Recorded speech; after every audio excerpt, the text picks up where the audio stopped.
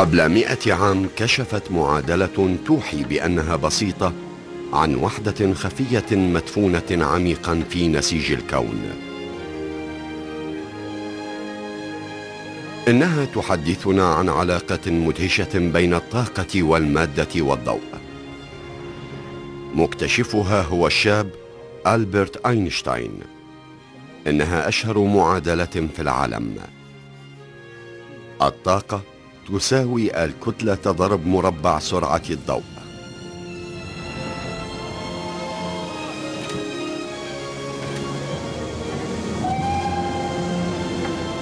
مع أن معظمنا سمع بفكرة أينشتاين الكبيرة فإن قليلين منا يعرفون معناها.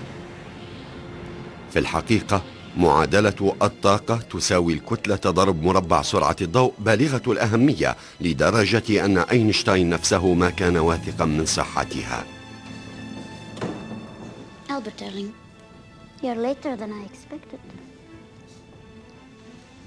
We've only got sausage and cheese tonight. What is it? We need to talk. Has something happened? Oh, no, uh, nothing. Sorry, no. I spent most of the day staring out the window at work, looking at trains. and I started to think about an object and how much energy it had. Can I explain it to you? Of course you can. But first, mm, dinner. Mm, food and talk. I think the gods are laughing at me.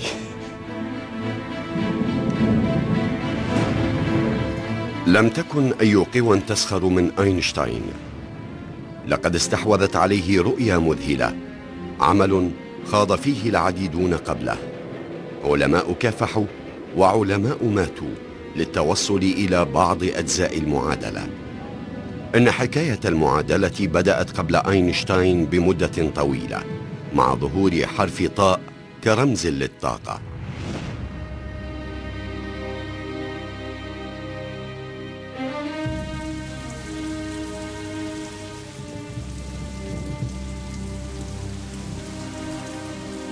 في بدايات القرن التاسع عشر لم يكن العلماء ينظرون إلى المسائل من خلال الطاقة.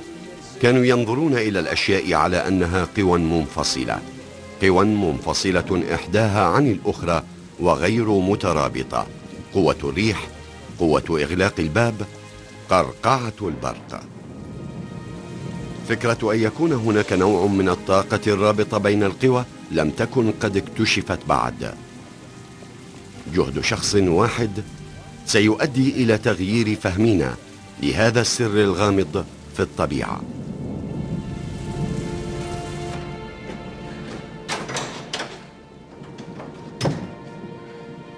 Young Michael Faraday hated his job. He was uneducated, the son of a blacksmith. He'd been lucky to become a bookbinder's apprentice.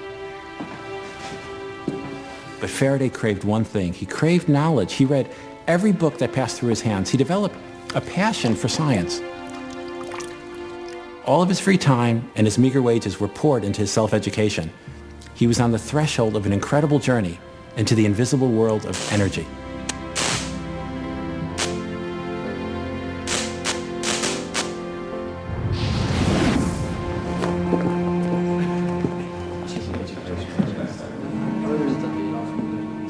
أثار فاراداي إعجاب أحد زبائن سيده وكوفئ ببطاقة غيرت مجرى حياته Can I pass, please? Can I pass? Some of us are trying to improve ourselves. If people will let us. Of course, of course. Pass, pass. This way to a better life. In the early 1800s, science was a pursuit of gentlemen, something Faraday was clearly not. He had a rudimentary education, he'd read widely, he'd gone to public lectures. But in 1812, he was given tickets to hear Sir Humphrey Davy, the most prominent chemist of the age.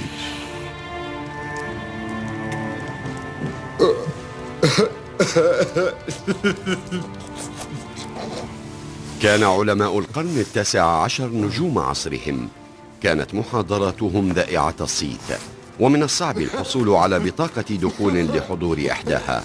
كان ديفي منتشيا بمكانته. They're waiting. I know.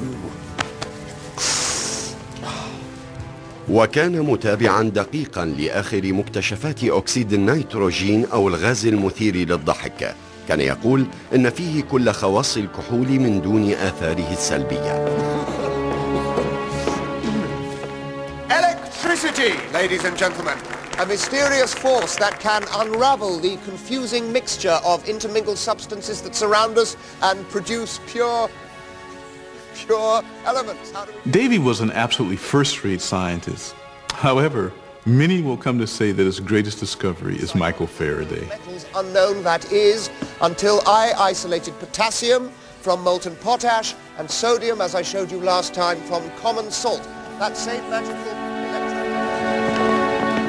لم يكن فاراداي من النبلاء لكنه ما كان ليسمح للحواجز الطبقية أن تقف دون تحقيق طموحاته العلمية عمل ليل نهار ليجعل ملاحظات المحاضرات بين دفتي كتاب من أجل بطله الجديد Lord, help me to think only of others, to be of use to mankind. Help me be part of the great circle that is your work and love. Lord, I am your servant.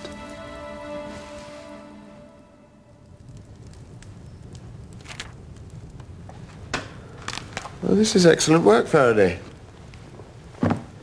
So what is it you aim to do with your life?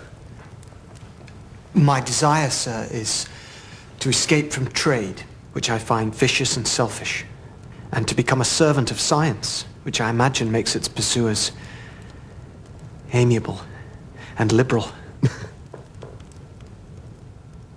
Really? Well, I shall leave it to the experience of a few years to set you right on that score. Look, I haven't anything at the moment. I'll send a note if anything comes up.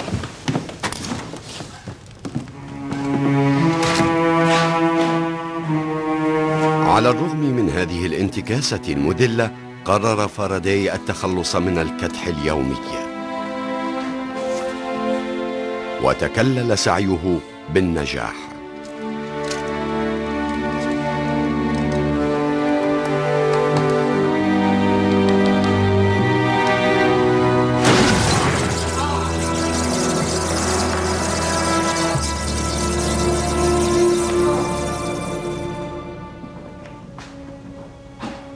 You man? Meet Mr. Michael Faraday. He's going to be my helper while I recover. He assures me he is a Christian fellow. Perhaps with God and Faraday in charge of the chemicals, you and I will be safe in our place of work. Thank you, Professor Davy. Welcome, Faraday. Oh no, thank you, and thank you, Sir Humphrey. Just stick to your job and do as you're told, and you'll be fine, Faraday.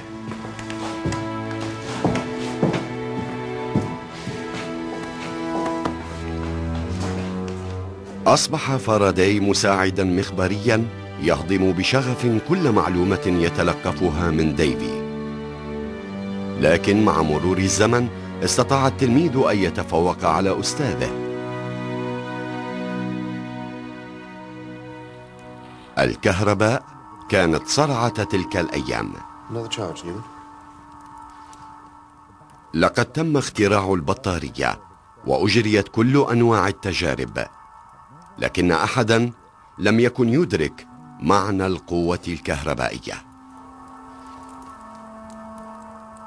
The academic establishment at the time thought that electricity was, you know, like a fluid flowing through a pipe, pushing its way along. But in 1821, a Danish researcher showed that when you pass an electrical current through a wire and place a compass near it, it deflected the needle at right angles. كانت تلك أول مرة يشاهد الباحثون فيها تأثير الكهرباء في المغناطيس. أول لمحة لقوتين كان يعتقد أنهما منفصلتان وتبين أنهما متحدتان بطريقة لا تفسير لها.